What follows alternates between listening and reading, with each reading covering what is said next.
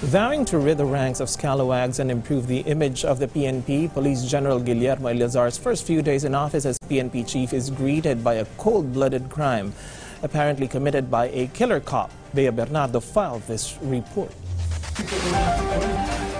Tumingin ka sa! Anong inisip mo ang ginawa mo yun?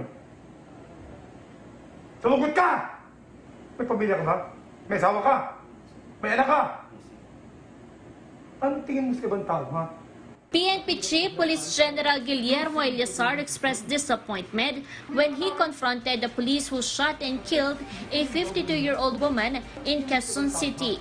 Due to anger, the PNP chief grabbed Police Master Sergeant Hensie Zinampan by the collar. Eleazar called the action of the police violent and unacceptable. Nagbigyan ko ng instruction sa ating Director Director of the CCTV dahil lahat naman ng ebidensya na kailangan na gagamitin natin para ma-file ng kaso ng murder is may file agad natin.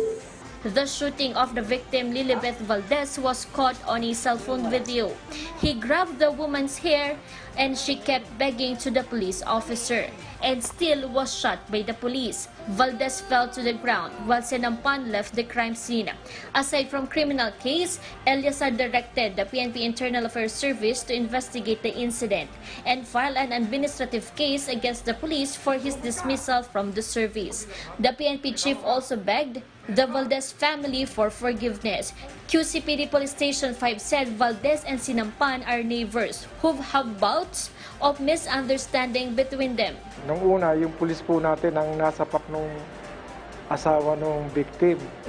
Ngayon, siguro dinamdam nitong suspect naman, eh, maaaring nang ngayon na nagkaroon ng, nung lasing siya, bumawi po. Meanwhile, the family of Valdez calls for justice. Mayroon din po kasi halong galit yung polis.